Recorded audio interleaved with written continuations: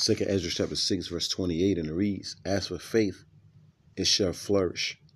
Corruption shall be overcome. And the truth, which have been so long without fruit, shall be declared. First and foremost, I to give all praise, honor, and glory to the Heavenly Father and His only begotten Son, Yahweh, Bahashem, Yahweh Shai, Bahashem Rakakwadash. Next, double honors to the head apostle slash elder bishops of Great Millstone, the one that taught us the 100% truth according to the Bible. Peace, blessings, and safety to all you sincere icons. Keep pushing, keep believing, keep the faith. Regardless of people here for a just, just a quick little hit. About to head to this damn job. You already know what it is. One day closer. We're, we're, we're one day closer.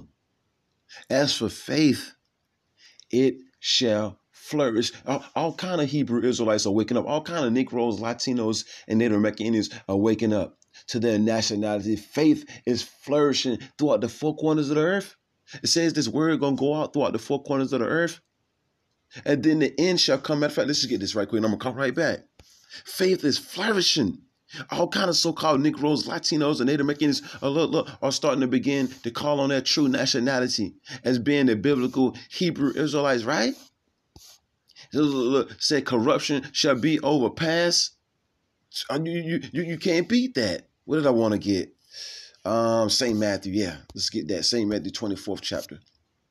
Like I said before, just, just something quick. It's Israel. It's high time to wake out of sleep. This devil is being exposed. The Lord is exposing this devil, man. You see, I might bring out a little clip. You know I'm saying? That I'm watching on a video right about now. Uh, I, I don't know, but I'm gonna bring out these scriptures most definitely though. St. Matthew chapter 24.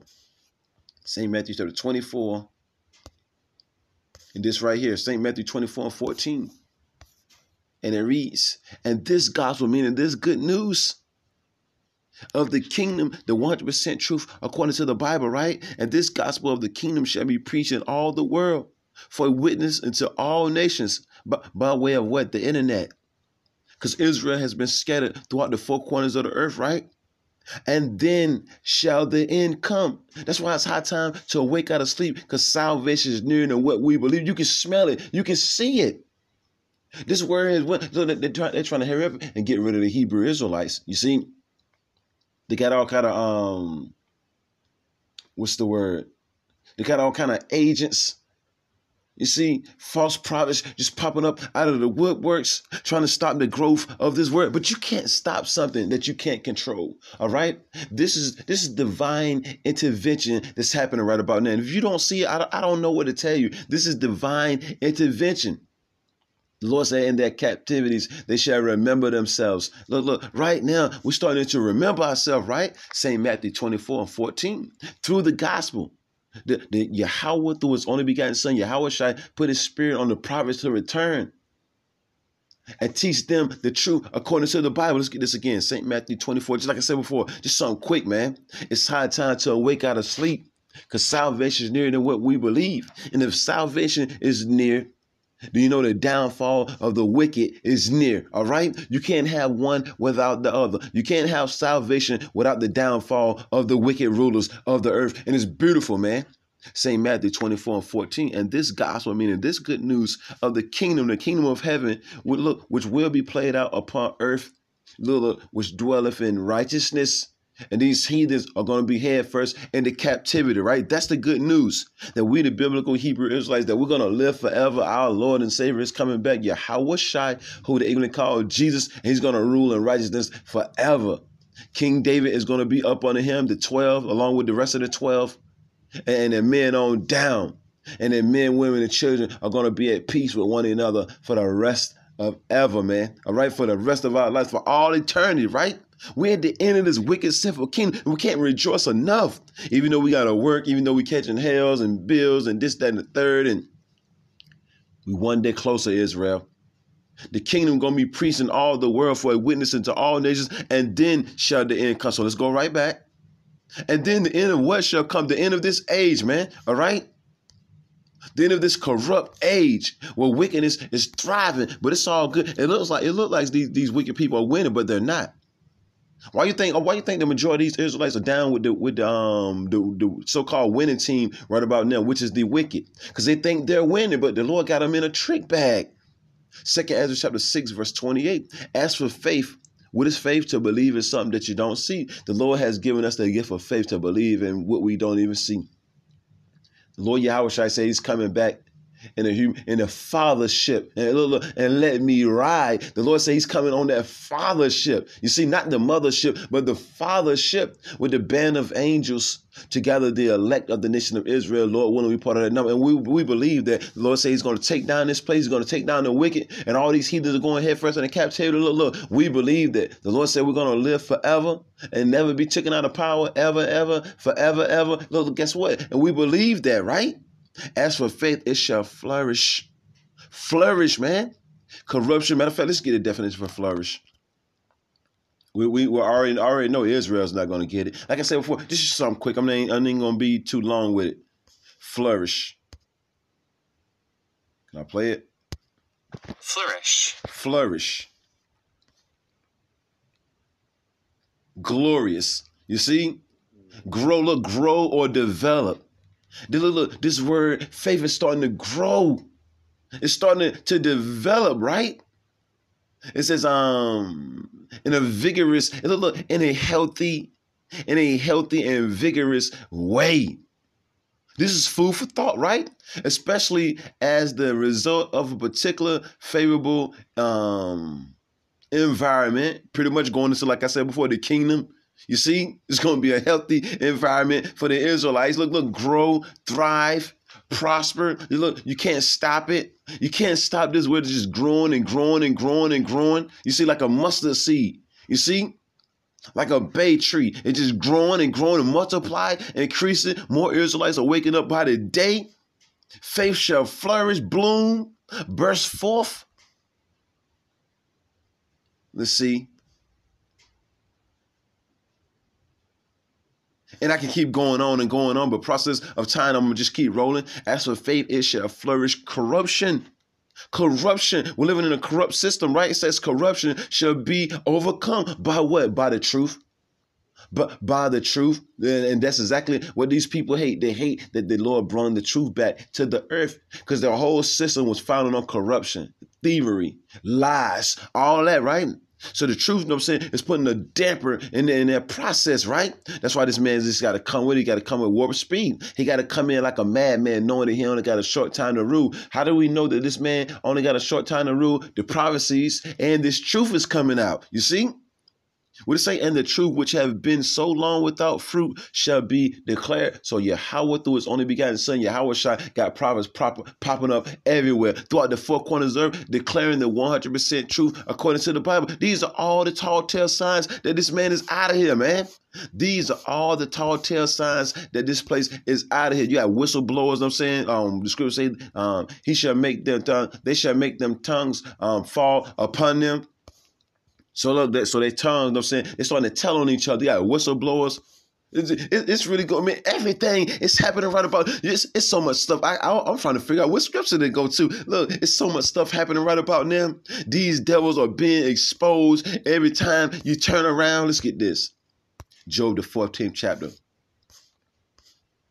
And, and the Lord said, I have set watchmen upon thy walls, which will never hold their peace day nor night. Ye that make mention of the Lord, Yahweh, Bahashem, Yahweh Shai, um, ye that make mention of the Lord, keep not silence. This is Job 14 and 5. Seeing his days are determined.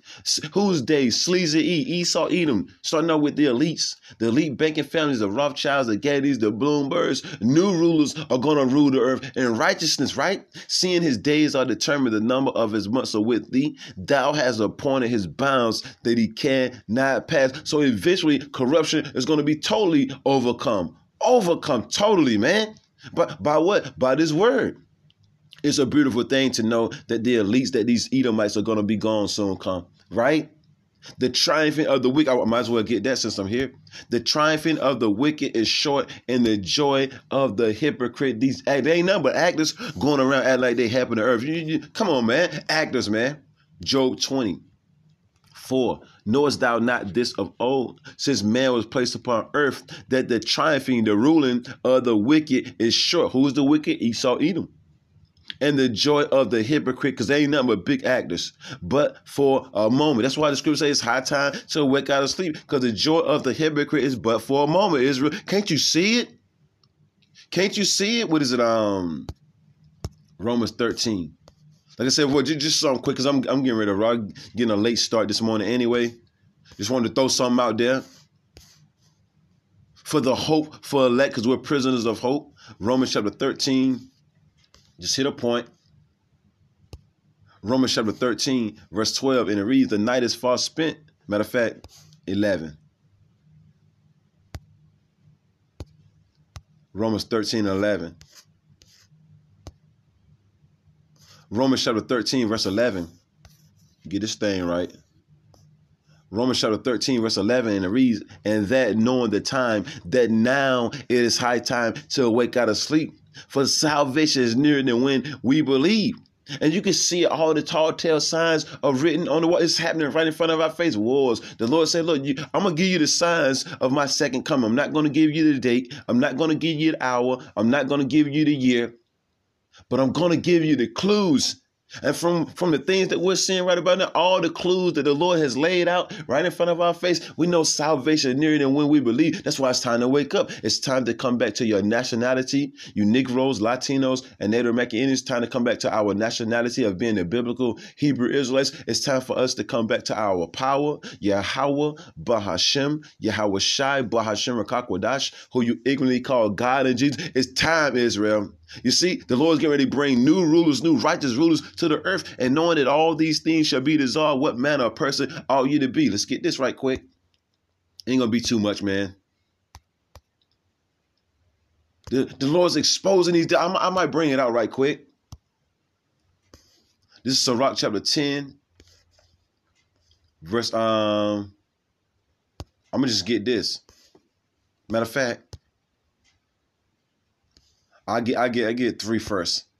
Do, do you Israelites not see the look corruption? The, the earth is corrupt right about now because of the people who's actually running it. Look at the way the earth is being.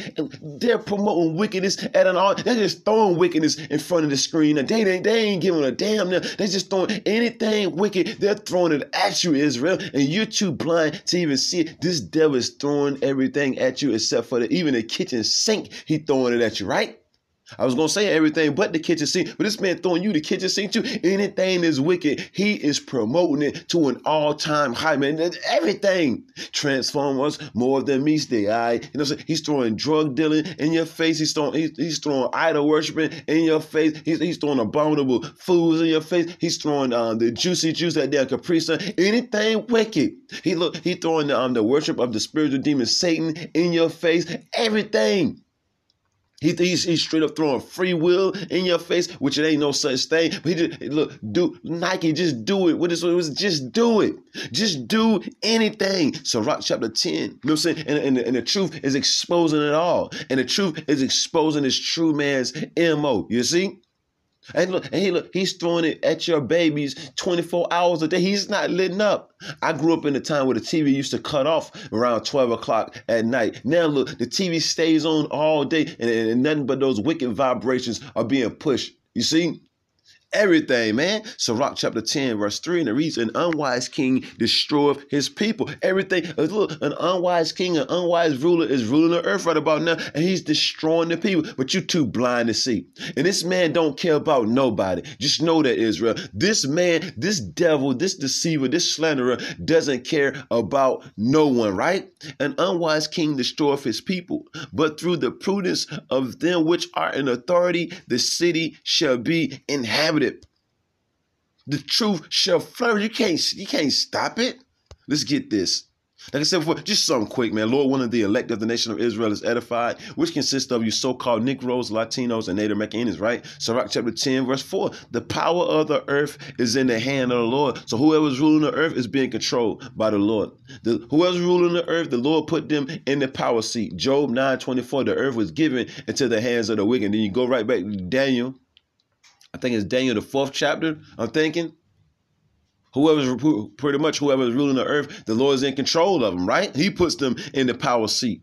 The power of the earth is in the hand of the Lord, and in due time, look, look, remember it's high time to wake out of sleep. Corruption shall be overpassed. Um, it's bounds that he cannot pass. Remember all them scriptures that I just brung out?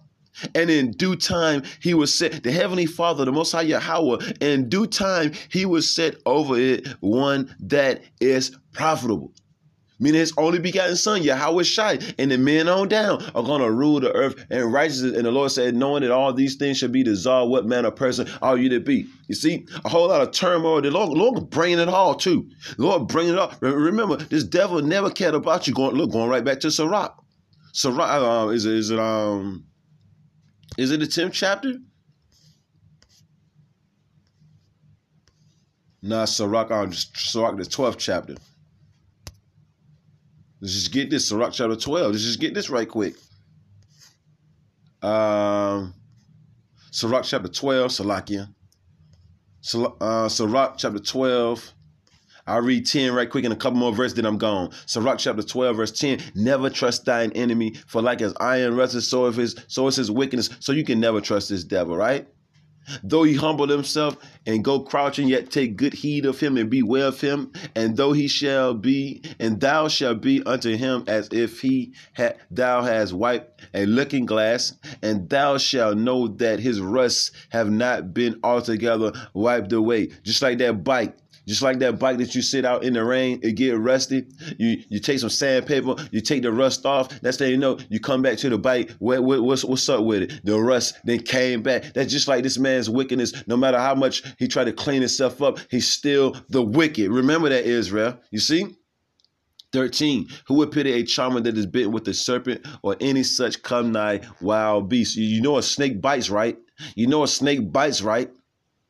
You you know a wild beast can devour you, right? That's just like this devil. Let's read down. 16 an enemy speaking sweetly with his lips but in his heart in his mind he imagineth how to throw thee into a pit remember never trust thy enemy he's always trying to throw you into a pit and all that is being exposed right about now everything about these devils are being exposed you see what it say? But in his heart, in his mind, he imagined if I to throw thee into a pit. He will weep with his eyes, but it, but if he find opportunity, he will not be satisfied with blood. If adversity come upon thee, thou shalt find him there first. And though he pretend to help thee, Remember, an unwise king destroyeth his people, and though he pretend to help thee, yet shall he undermine thee. And that's exactly what this devil doing, yo. When he passes his laws, when when, when he allows you to perform um, wicked acts, he's destroying you. He's he's acting like he's giving you freedom. You know what I'm saying? But this devil is actually destroying you, Israel, by letting you commit all these wicked acts. You, you, but you don't see it. But the Lord, you know what I'm saying, got a cure for your wickedness, and it's called fire. You see? Bear with me. I'm gonna play um, some of the elder brother Yaka's video from um, GMS The Basics. Listen to this. This devil is truly being exposed, right? Let, let me play a little bit of this. Fair use, fair use, man. Israel, the Israelites, us, we're gonna rule in righteousness perfectly, okay? Because we're gonna be caused to, made to, right? So, but it says for Esau is the end of the world, so they have to go down okay? And uh, the decline starts when you start to get exposed, right? People start to see what you really on, all your democracies and philosophies and, you know, all the lies and deceit, right? That, that they've been uh, uh, propagated, right? Well, now the, the nations also are seeing that they've been lied to, lied to, hoodwinked, bamboozled, led astray, right? All these things, right? And so, again, this is part of the prophecies, right? That they must be exposed, okay? And that's a telltale sign of them going down, okay? And so they're to try to fast track their ultimate agenda, all right, of a new world order, a one world government in wickedness, okay? They're to try to fast track it. So that's why the scripture says, hey, uh, matter of fact, let me just grab it. In this Revelation chapter uh, 12, verse 12, it says, Therefore rejoice, ye heavens, and ye that dwell in them. Woe to the inhabitants of the earth and the, of the sea. For the devil is come down unto you having great wrath. This devil is talking about Esau, Edom, the wicked, all right? he's coming uh, for the devil is come down unto you having great wrath because he knoweth that he hath but a short time right. And how does this devil Esau Edom know that he hath but a short time? Because he see that he's being exposed. Right. All his lies, right, are being exposed. First and foremost by the prophets, right, but then also by these heathen nations and even themselves. Like the scripture says, their own tongue shall fall upon them. And that's all through the spirit and power of Yahweh Shem Yahweh Again, another sign, all right, to let you know that we're not in the, you know, beginning of the end. No, we're at the end of the end. All right. So uh, let's go ahead and play this clip. And like I say, just a couple of scriptures and that's it.